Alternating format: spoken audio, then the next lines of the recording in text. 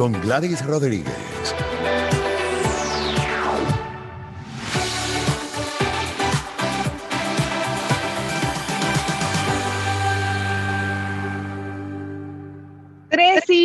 31 avanza el día y tenemos para, como todos los miércoles, la entrevista de personalidad. Hoy vamos a sentar en el diván a Marielena Justi, quien fue atleta venezolana dedicada al nado sincronizado, ganadora además medalla de oro, por ejemplo, en los Juegos Centroamericanos y del Caribe en 1985, en el sol femenino de nado sincronizado. Yo la recuerdo muchísimo, además también estamos hablando de un momento en el que todavía no ejercía el periodismo Bienvenida, buenas tardes y, gracias por aceptar esta invitación, María Elena. Pero te decía que en ese momento yo no, ejercía el periodismo, pero te recuerdo como una venezolana más que te aplaudió con fuerza.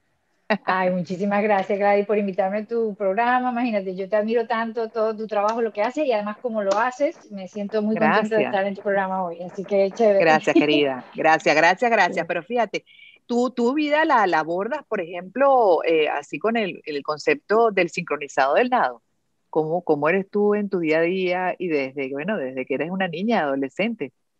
Creo que soy perfeccionista, que es parte de lo que uno necesita para hacer este, el nado sincronizado, obviamente, porque esto tiene que ser exactamente perfecto.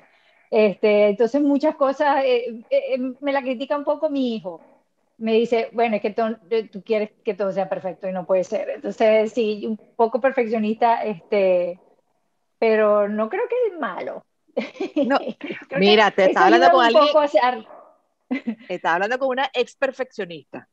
Ex, perfeccionista, así ah, eso. lo, que, lo que no quiere decir que no busque la excelencia, pero ya yo solté porque a mí me hacía mucho daño ese perfeccionismo. ¿A ti no te hace daño? A veces, no te eh, no te agobia, no te. Eh, yo creo que él está un poco exagerando cuando dice que soy perfeccionista 100%, pero sí algunas cosas son importantes tenerlas como es derecho. Pero no, yo creo que ya yo a esta altura de mi vida estoy mucho más relajada, así que está bien. Pero sí, ha, obviamente parte de mi vida, eso, eso que, que trajo el nado sincronizado eh, por, su, por el deporte en sí, pues, a mi vida. Es que el deporte, ah, cuéntame un poco de ese deporte, además también me gustaría revisarlo contigo, que eres una especialista, por ejemplo, de ahora cómo se aborda en los Juegos Olímpicos, de lo que has visto de este último de Tokio 2020, ¿qué te ha llamado la atención, Marilena? realmente es impresionante eh, lo que hacen hoy día esas muchachas. Este, voy atrás un poquito a cuando yo nadaba, por ejemplo, las rutinas eran un poco más lentas. Este, estaban iniciándose lo que son las acrobacias. Tú has visto por lo menos los equipos que saltan y lanzan a una, pero la alzan, la lanzan a 3, 4 metros arriba del agua. Eso estaba iniciando cuando yo estaba nadando. Eh, nosotros, obviamente, siempre después que me retiré, también lo trabajé con la selección nacional cuando fui eh, la entrenadora de la selección. Sin embargo, nunca logramos lo que está haciendo muchos equipos hoy día con este tipo de cosas. Ese es uno de los cambios importantes, creo yo, que ha pasado, que ha traído en los últimos años al nado sincronizado. las acrobacias que son impresionantes. Claro. Impresionante lo que pasa en el cuerpo, ¿ah? Es impresionante lo que pasa en el cuerpo. El límite se lo pone uno mental. Exactamente. Otra cosa pudiera ser la, velocidad en la que hacen eh, los movimientos y la cercanía en los patrones. Por ejemplo, tú tienes ocho niñas, están todas, cuando yo nadaba no era tan, no estábamos tan cerquitas, ¿sabes? Y echarte para allá porque me vas a patear, me vas a golpear. Aquí no, aquí todas están una encima de otras así y todo lo hacen cerradito, muy rápido y además los cambios de, de, los, de las acrobacias que yo creo que hacen que el deporte sea espectacular para ver. Sí, es, un, es un, espectáculo, un, espectáculo definitivamente. De hecho, fíjate que yo te tengo también aquí una pregunta, porque aparte de mis preguntas, también vamos a tener eh, preguntas de personas cercanas a ti, como es el caso de Claudia, eh, tu hermana. Mi hermana. Que tiene, sí, que tiene un comentario para ti y una pregunta, fíjate te la, te la presentamos. Es una anécdota de algo que vivimos hace unos años cuando yo también hacía nado sincronizado y ella era mi entrenadora. Eh, estábamos en una competencia en diciembre en el Parque Naciones Unidas, que siempre ha sido una piscina que es muy, muy fría y que a las nadadoras nos costaba mucho porque nos impedía tener la capacidad pulmonar eh, al 100% cuando tocaba competir. Y estábamos en un entrenamiento la noche antes de la competencia y eh, estaba haciendo demasiado frío, estaba lloviendo y bueno, nada, empezamos a nadar la rutina y en medio de la rutina yo me desvanecí, pues como me desmayé. Oh, por Dios. Y ella que estaba afuera se tiró al agua este, con toda ropa para sacarme porque las muchachas no se habían dado cuenta que yo estaba en esas condiciones. Pues. Y fue un susto muy grande que pasamos, pero bueno, ahí, ahí ves que eh, lo primero es la familia, las hermanas. Ella me vio que me estaba como, como ahogando y me fue a sacar. Y bueno, con el tema de los Juegos Olímpicos, este, la pregunta que le voy a hacer es qué opina del nuevo sistema de clasificación de los equipos para el nado sincronizado. Muy buena pregunta. Eh, realmente no estoy de acuerdo cómo se hizo, porque hay una cláusula ahora que eh, dice o estipula que todos los continentes tienen que estar representados eh, en, la, en la competencia. Esto significa que al incluir, por ejemplo, a, mm, eh, digamos que Australia, por ejemplo, o algún país en África, eso quita o le quita dos puestos a, los, a dos equipos que realmente son de mejor categoría o este, mejores a nivel mundial. Entonces, ese, ese, esa no es por mérito. No, es por eh, mérito. sí, en general es por mérito, pero tienes esta cláusula en la cual tienes que obligar, obligatoriamente incluir a estos dos continentes, un país de cada uno de estos, de los continentes que no estén representados. Pero es que tú me estás recordando, Marilena, algo que pasa en la Universidad Central, porque es que, bueno, eh, por eso te decía la meritocracia, hay personas que se van formando, que tienen unas capacidades, unas destrezas que los hacen colocarse en los primeros lugares y que, bueno, obviamente merecen también ir a competencias como esta, pero por ese tema de justicia, ¿no? de darle igualdad de oportunidades a todos, al final pues, eh, eh, eliminas a un grupo que debe estar ahí o debería estar ahí, Exactamente. para dar la oportunidad al otro, que bueno, que seguramente tiene también mucho talento, pero hay alguien que lo está exacto. mejor. Exacto, las Olimpiadas uno quiere ver eh, a los mejores del mundo y muchas veces quedan fuera algunos este, países o algunos equipos que realmente tendrían que estar ahí y no están por esta regla nueva. Si hay opciones, para mí hay opciones. Yo, en lo personal, este, mi sugerencia para la FINA, que es la Federación Internacional de Natación Amateur, que hace todas estas reglas, mi sugerencia es yo no estoy diciendo que no incluya a estos dos, o, bueno, a, a estos dos continentes que normalmente no tienen un país representado, pero toma los primeros 10, que son los que son, y, e, perdón, e incluye a esos dos. O sea, que no sean 10 sino 12, por ejemplo. Entiendo, exacto. Y así, lo, mejor de lo, mejor de los dos conceptos, o sea, tener a las dos opciones. Tener a las dos, exactamente. Entonces, para contestar la pregunta de mi hermana, esa, eso es lo que considero que debería ser y me parece que no está bien porque, por ejemplo, el equipo de Estados Unidos es un equipo muy bueno, excelente, quedó por fuera porque este, había que meter a dos equipos que no, que no eran, mm, mm. que eran de otros continentes no representados. Entonces, claro, claro, te entiendo el planteamiento. Ahora, fíjate, Claudia habló de, bueno, de, de la, obviamente, ¿no? Que de, para ti una prioridad es la familia y que cuando la viste a ella desmayarse en el agua, yo creo que te ha dado a ti algo, ¿no? Eh, sí, la verdad es que ese cuento es, interesante porque además, mientras ella estaba comenzando a hacer su rutina, mi papá me llamó por teléfono y yo estaba con él en el teléfono en el momento que ella eh, le sucedió esto allá en el agua y yo me lancé a la piscina y, no sé, entre que la sacábamos y estábamos, pues no sé, llevamos como cinco o seis minutos ya fuera del agua y yo digo, si yo estaba con mi papá en el teléfono y cuando vuelvo a buscar el teléfono, efectivamente él no había colgado, él estaba allí, porque él cuando me ah. oyó gritar a mí, Claudia, y yo salí, pues él se quedó allí esperando a ver qué había pasado, porque obviamente se había asustado también. Qué angustia, qué horror. sí. Y, y, y son puras mujeres. Sí, Sí, eh, hoy día ya el nado ha evolucionado a tener. No digo ustedes, la familia. ah, no. no, mi hermana y yo, y tenemos, tengo un hermano también. También, ah, en el medio. Yo soy la mayor, Claudia es la menor y él es el medio. ¿Y por qué las dos se, dedicaron al nado sincronizado? ¿De dónde viene esa pasión? no, yo comencé con ballet, lo que me gustaba yo hacía era ballet, Este, y bueno, vi el nado sincronizado, me gustó, ay, se parecía a lo que yo hago, qué, qué lindo y tal, y bueno, comencé y, y, así fue, por lo menos en el caso mío. Este, yo asumo un poco, no sé, a lo mejor no es así, pero yo asumo que en el caso de mi hermana puede haber sido por seguir un poco mis pasos, ¿no? Influencia. Este, influencia por lo que yo hacía y bueno, Claro, claro, pero ahora cuando estás en el agua, porque son de coreografías que se hacen en el agua y yo veo esos bracitos que se mueven, se mueven, se mueven, se mueven, se mueven, mientras ustedes van usando las piernas, yo digo que yo de verdad que me agoto cuando los veo haciendo todas esas, ¿no? Como hablabas al principio, es un espectáculo. Eh, ¿Cómo se desarrollan esas fortalezas? Muchísimo ¿Cuánta trabajo. práctica requiere?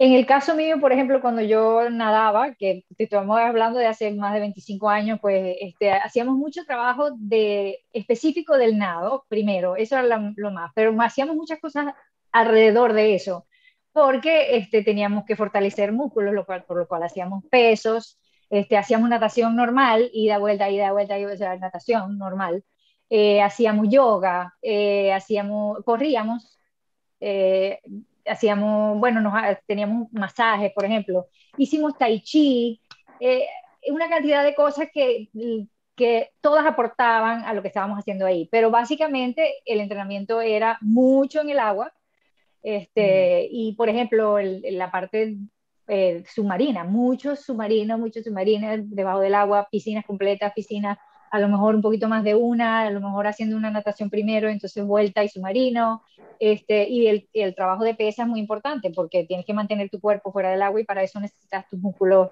fuertes para poder... Claro, este, ¿cuánto, ¿cuánto resistías tú dentro del agua? En una rutina en acción, pues pudiera ser unos 45 segundos al principio de la rutina, ya después menos, porque eso es como lo que uno muestra al principio esa es una habilidad que uno muestra al mm. principio de la rutina, pero ya después uno puede hacer, ¿sabes? Subir, bajar como más veces y no estar tanto tiempo debajo del agua. Sí, este, hoy día no sé, 10 segundos. Sí, bueno, no hablemos hoy día, después hablamos de qué estás haciendo, pero no hablemos de eso. Tú sabes que el reloj biológico nos pega todo, ¿no? A mí, ah, a mí eso me da mucha risa porque a veces cuando alguien, por ejemplo, eh, le coloca a otra persona, no sé, eso ocurre mucho también con las personas públicas, pero en general que, ay, pero estás viejo, pero estás vivo, ¿será que, que tiene el secreto de la eterna juventud? Porque todos vamos para allá al final. Esto es inevitable y además, bueno, si tienes ah, la, la tienes el privilegio de larga vida. Pero en el caso, por ejemplo, tuyo, cuando hacías una competencia psicológicamente también, ¿cómo te preparabas? Porque además eso, ¿no? De mantener la coordinación, de que todo saliera perfecto, sincronizado. Y además aguantando la respiración, o sea, medio de la presión, por supuesto, una competencia, ¿a qué te aferrabas tú desde el punto de vista psicológico? Creo que era como más una evaluación interna, una, un trabajo de mí conmigo, este, sabes, voy a estar bien, tranquila, esto es algo que hemos hecho mil veces, ya tú te sabes, no hay nada que, que no te sepas, no, no, va a haber ninguna este, causa externa que, te, que va a hacer que cambien las cosas, este, tú estás preparada para esto, o sea, es una cuestión de trabajar uno conmigo mismo, este, porque es que es tanto trabajo y tanto repetir y repetir y repetir y repetir que ya es automático lo que vas a hacer, o sea, es el nervio del momento, y a lo mejor la presión, pero eso para, eh, lo tienes en el cerebro. fue, no, y además fue algo positivo.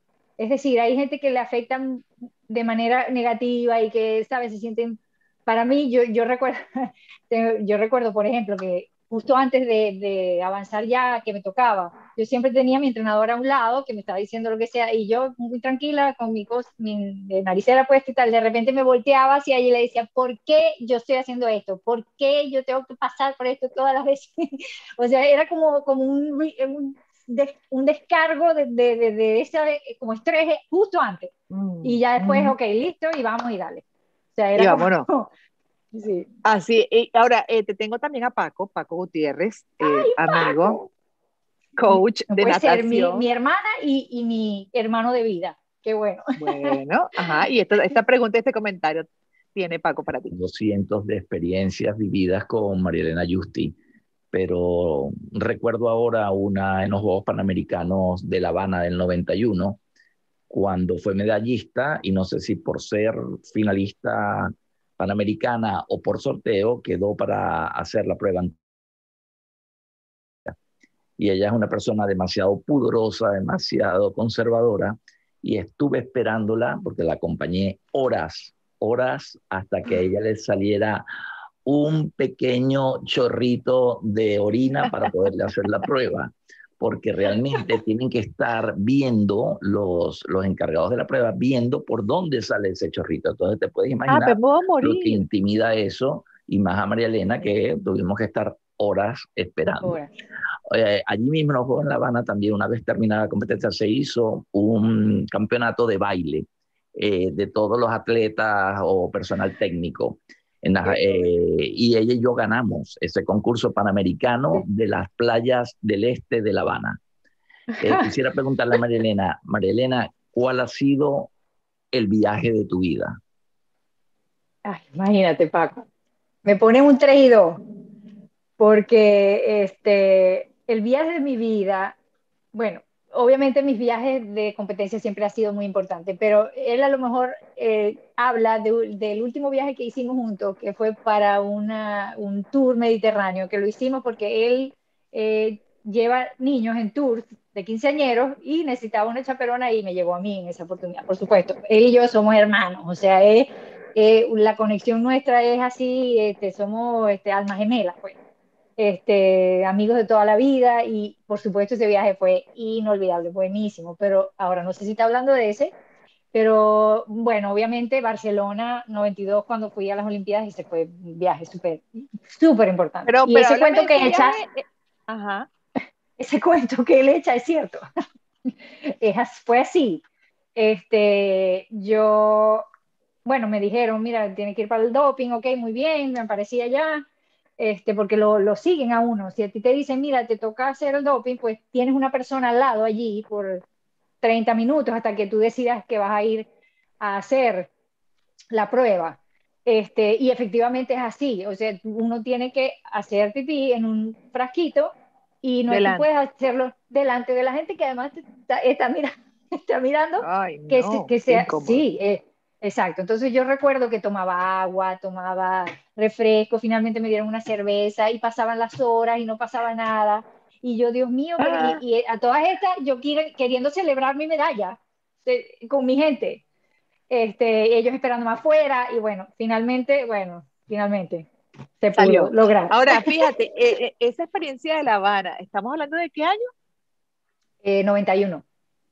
91, ajá. Eh, te iba a preguntar, bueno, ¿cómo, cómo viste tú La Habana? ¿Qué edad tenías?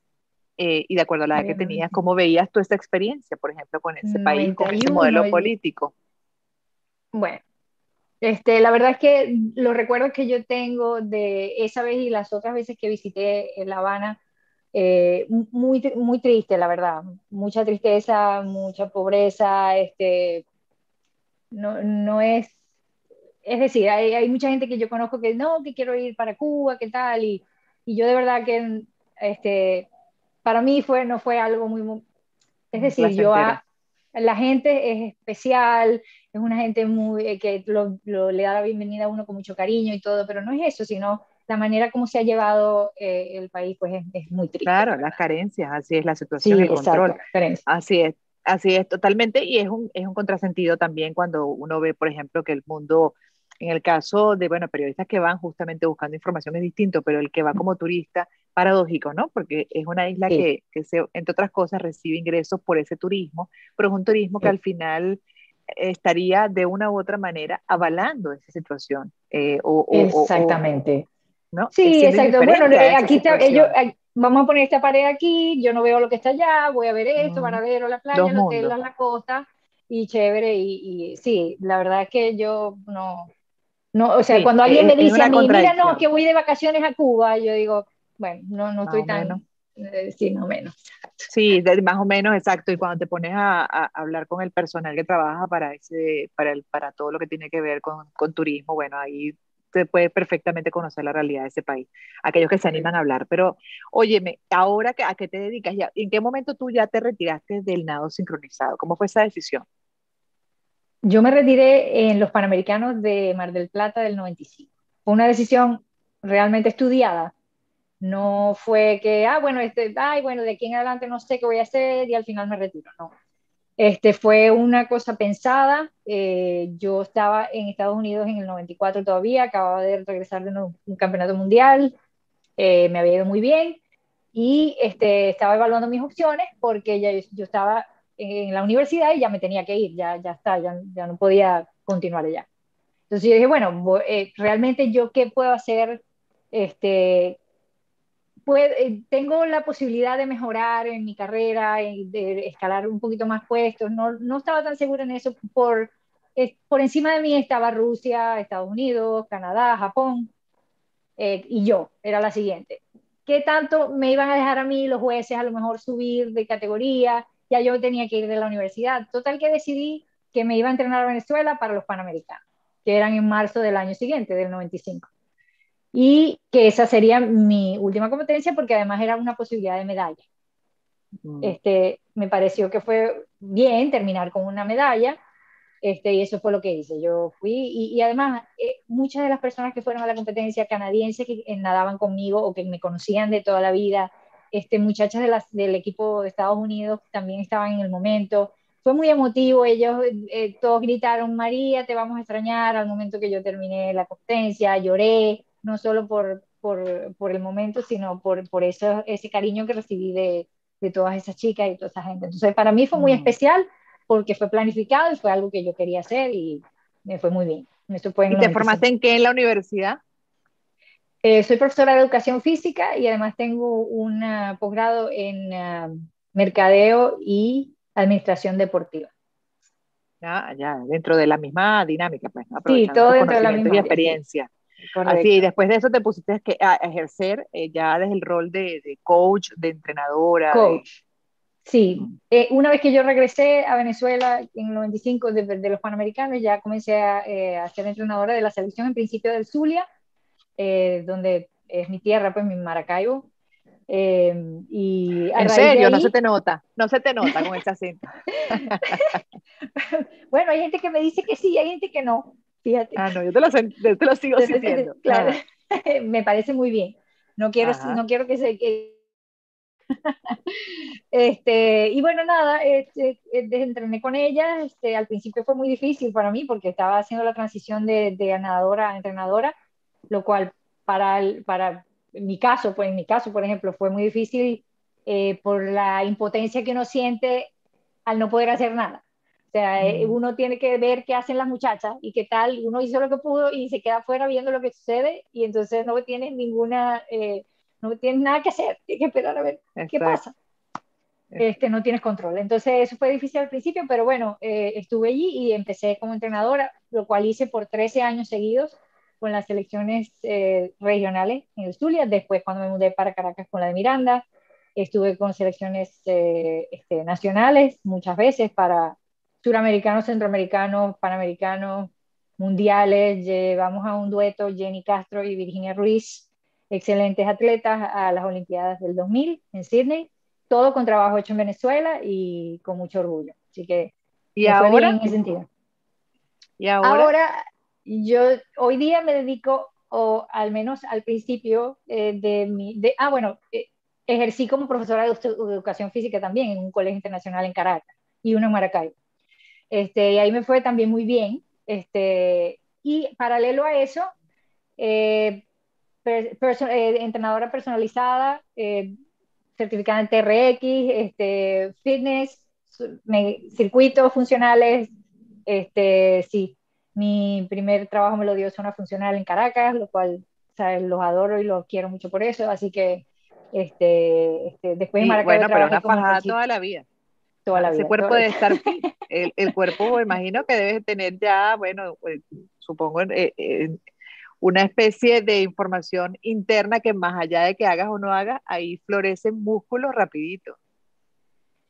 Eh, como bueno, Como tú dices, las cosas van, tú sabes, este, avanzando eh, hacia donde vamos todos. Sí, no, no, no, yo, yo veía a Yulimar el otro día que estaba bailando tambores, no sé, bueno, estaba con su ropita de, atleta y los, los, cuadritos, yo decía, esos cuadritos, de verdad que es impresionante que, que, lo marcado que lo tienen, es impresionante, ¿no? Como el cuerpo Sí, exacto, no solo eh, su trabajo por lo cual los tiene, sino además su genética, que obviamente es estupenda, ¿no? Sí, sí, esa es otra. Pero también si dejas de hacer, eso rápido desaparece, ¿no? Por supuesto, uno tiene que más o menos mantenerse siempre. Eh, y en especial cuando uno va avanzando, no es por nada, pero cuando uno va avanzando, avanzando en edad, uno, ¿sabes? Empieza a perder masa muscular si no te mueves, si no te ejercitas. Este, entonces, yo por, lo, yo por lo menos, yo tengo amigas que dicen, pero tranquila, si tú entrenas todo el tiempo, yo digo, no, pero no puedo pasar dos días sin entrenar porque tengo eso en la cabeza, que, ¿sabes? Uno empieza a, perder masa muscular y no, no, no, porque entonces empieza uno a chuparse, ¿sabes? A ponerse todo así, flaquito. Sí, y ya para terminar, porque se me, se me acabó el tiempo, fíjate que tú estabas al principio hablando de lo perfeccionista que sigue siendo y que tus hijos te hacen la observación con frecuencia, pero Marilena, estamos hablando con Marilena Justi, quien fue atleta venezolana ganadora de medallas en nado sincronizado. Em, en, este, en este papel de madre, compañera, además también eh, de tus hijos, pero con la experiencia como entrenadora, como coach, de acuerdo a tu propia experiencia de vida, ¿dónde colocas el resaltador en la educación con ellos? ¿Cómo? ¿Dónde coloco el resaltador? Bueno, en el respeto, en los valores de la casa, de la generosidad que uno pueda prestar a, la gente, de eh, la empatía que pueda sentir hacia los demás, eh, de la vida en familia, del compartir este, momentos especiales, no solamente con, con, las pantallas, sino con tu gente, con quien vive contigo, este, expresar amor a tus seres queridos, todas esas cosas que son importantes mm. para el día a día. Fundamental, para, para, el día a día, para la vida, para las sociedades, para el desarrollo del mundo. Acabas de mencionar muchos valores. valores. ya se nos acabó el tiempo, lamentablemente queda un minuto, pero bueno, tus hijos cuando revisan, por ejemplo, los álbumes de fotos y el trabajo y se meten en internet y consiguen información sobre ti, ¿qué te dicen? Eh, mi hijo, que nada más tengo uno, pero mi sobrino. Ah, tú tienes uno, yo pensé que tenía este, dos. No sé por qué pensé que tenía. Uno, se llama Carlos Eduardo. Sí, ¿Qué edad tiene Carlos Eduardo? Este, 23. Es un hombre ya. Ah, sí. sí. No, pero él, él, él, eh, él me dice, wow, mamá, no puedo creer que tú hiciste todo eso. él, él, me apoya, me, me, yo diría que me admira un poco en ese sentido y en, por todo lo que hice, pues. Este, me, le parece, oh, eso sí está cool, ¿sabes? ¿Y él nada que ver con el agua? ¿Con algún deporte de eh, agua o algún deporte en particular? A él le gusta el patineta. Le, ¿Sabes? ¿Cómo se llama?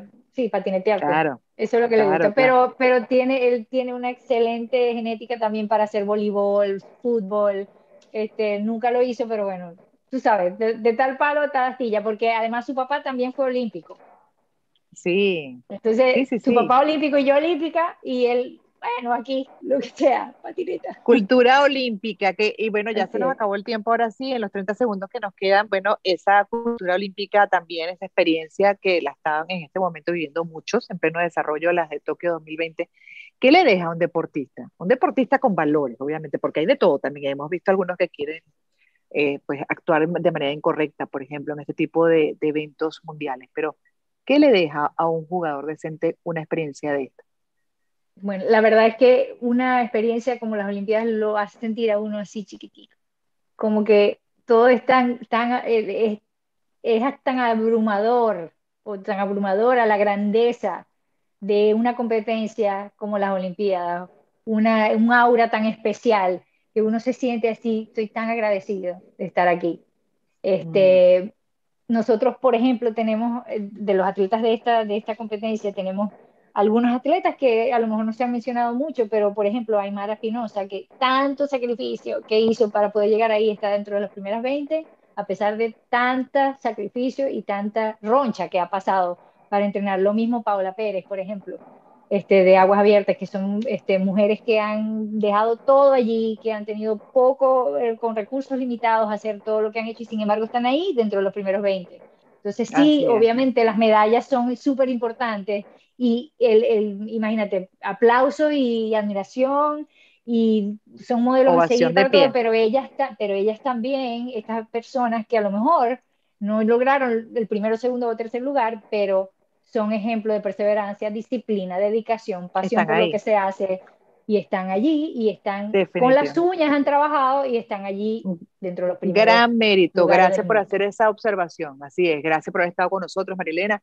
Ha sido un pasar un poco de tu vida como ex atleta venezolana, dedicada al nado sincronizado, inolvidable para muchos. Muchísimas gracias además por esas medallas que le diste al país y por esa visión además que has compartido con nosotros hoy. Gracias a ti, Gladys, por la invitación. Un abrazo. Cuídate mucho. Besos. Igual. chao. chao. Cierro la primera parte del programa, pero queda una segunda. En unos minutos volveremos.